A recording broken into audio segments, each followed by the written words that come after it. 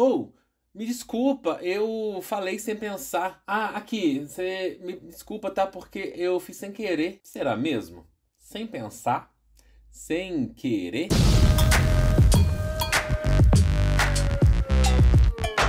Oi, gente, bem-vindos de volta ao Filosofares. A gente vai conversar hoje sobre como que a nossa mente pode se conectar ou não com o nosso corpo. Será que existe mais coisa na nossa mente do que a gente conhece? E será que há mente no corpo ou corporeidade na mente? Mas, antes dessa conversa, vamos pedir aqui para vocês se inscrever no canal, deixar já aqui no começo do vídeo a sua curtida para que esse vídeo chegue a mais pessoas aqui na internet. E também não se esqueça de conferir aqui embaixo todos os links na descrição desse vídeo, além de clicar no botão Seja Membro e considerar fazer parte dessa família de Philosophrends que apoiam esse canal mais de perto. Bom, com o avançar das ciências, né, das novas ciências, das novas tecnologias, muitos estudos filosóficos acabam modificando a forma como são feitos, porque eles precisam se adaptar à maneira de novos problemas que são colocados por novas tecnologias, por novas ciências.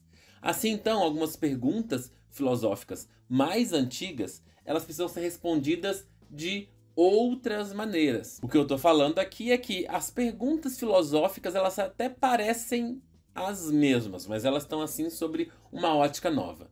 E nesse assunto, uma das perguntas mais antigas e com muitas diferentes respostas na filosofia é a questão sobre o que é a consciência, o que é o espírito humano, a mente, ou sei lá, o eu, né, esse tal de self.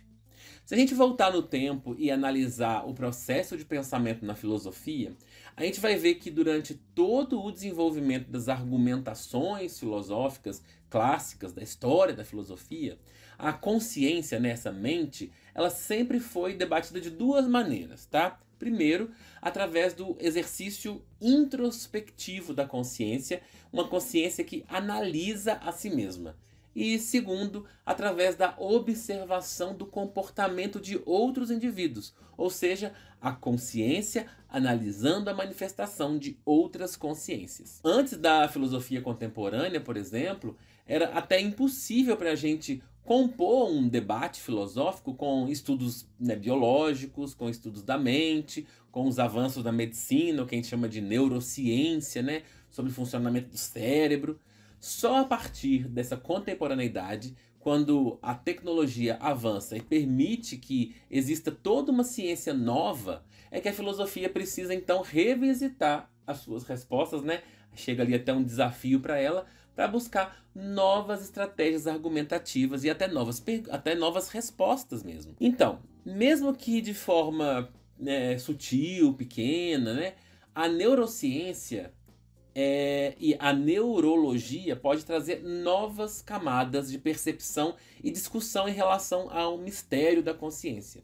E é esse exatamente um dos principais assuntos estudados pelo filósofo que a gente vai conversar aqui hoje, o Antônio Damasio. Antônio Damasio é um famoso neurocientista português e também um professor universitário lá nos Estados Unidos e um filósofo contemporâneo, tá?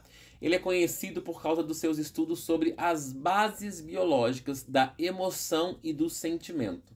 E como é que esses processos eles podem afetar a tomada da nossa decisão, ou seja, como os, os afetos e as emoções afetam os como os afetos afetam o comportamento humano. Apesar do Damasio ser neurocientista, ele escreve, como eu falei, bastante coisa é, argumentando, fundamentado pela própria filosofia. Os livros dele, por exemplo, usam bastante o pensamento de Spinoza para combater, ou sei lá, para debater, né?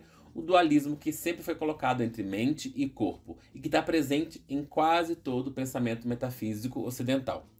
Eu estou falando daquela concepção filosófica que acaba afirmando que o corpo e a mente são duas substâncias completamente distintas quanto à sua natureza e quanto à sua substância. Entre esses livros de Damásio que eu falei aqui, os mais conhecidos são O Livro da Consciência, O Mistério da Consciência, né, os dois sobre a consciência, e Em Busca de Spinoza. E o mais famoso talvez seja O Erro de Descartes, por causa que talvez tenha um clickbait aí no título, né? Quando Damasio escreve, ele está argumentando que a emoção é fundamental para o pensamento e para a tomada de decisão. E a consciência é um processo, não é uma coisa. É um processo contínuo e dinâmico que envolve o cérebro, o corpo e o ambiente externo. Para ele, as emoções e os sentimentos, eles desempenham um papel muito importante nos nossos processos cognitivos, como a memória, a atenção, a percepção. Então eles não podem nem devem ser colocados de fora quando o assunto é consciência. Como se fosse possível né, separar afeto e emoção de mente, de consciência. Para deixar isso mais evidente, é, o filósofo até demonstrou como que algumas lesões cerebrais podem afetar a capacidade de processar as nossas emoções, os nossos sentimentos. E como isso pode modificar até a tomada de decisões e até o nosso comportamento social. Quer dizer, se eu sou afetado ali no meu cérebro, isso afeta a minha mente. Né? Então, o corpo e a mente eles estão conectados. Bom, vamos voltar agora para o momento da filosofia em que esse problema né, da conexão mente e corpo uh, ficou mais evidente. Vamos lá. Vamos falar então, finalmente, de Descartes e de Spinoza. Esses dois autores que são debatidos nos livros ali do, do Damásio. Descartes achava que a mente e o corpo eram coisas separadas. Para ele, a mente era tipo uma alma que pensava e tinha consciência, enquanto o corpo era uma máquina feita de matéria.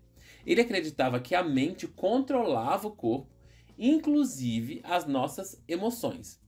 Para Descartes, então, as emoções elas eram reações automáticas do corpo a coisas que aconteceriam ao nosso redor e a mente tinha o poder e até o dever de controlar essas emoções. Então, é uma mente que controla uma máquina.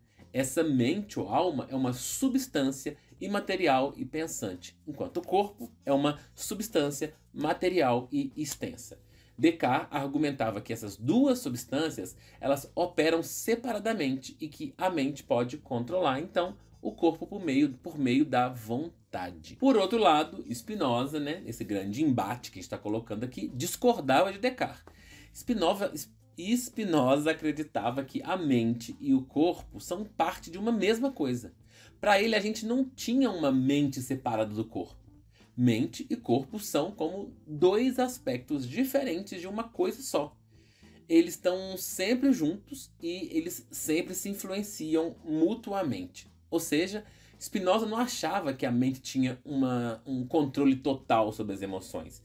Ele dizia que as emoções elas surgem das interações complicadas entre mente e corpo e não são completamente controláveis. Então, na verdade, mente e corpo são auto-influenciáveis.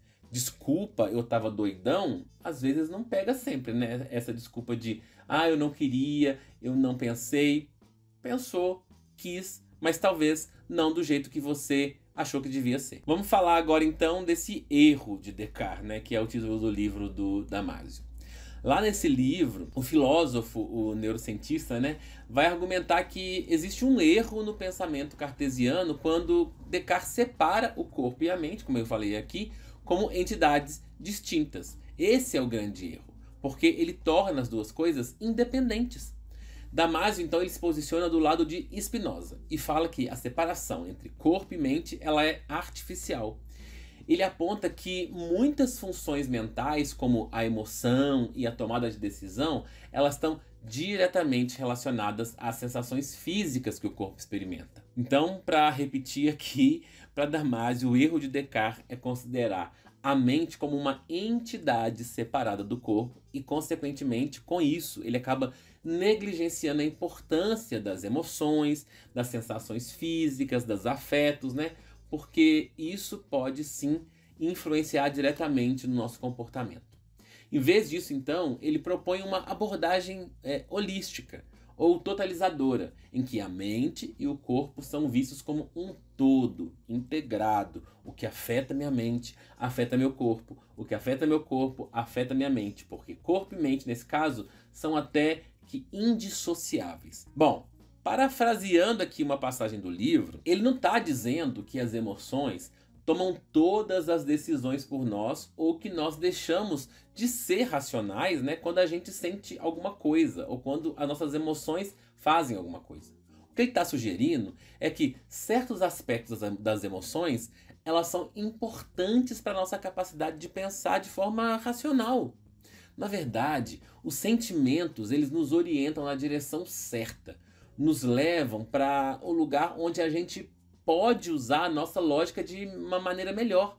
É quando a gente enfrenta as situações incertas, como tomar decisões morais, escolher o que fazer em um certo relacionamento pessoal, pensar em como evitar os problemas financeiros na velhice, ou planejar o nosso futuro que que está por vir, né? É quando tudo isso acontece é que os nossos sentimentos mais importam. Então, aqui nas palavras dele, agora numa citação direta, as emoções e os sentimentos, juntamente com a oculta maquinaria fisiológica que lhes está subjacente, auxiliam-nos na assustadora tarefa de fazer previsões relativamente a um futuro incerto e planejar as nossas ações de acordo com essas previsões.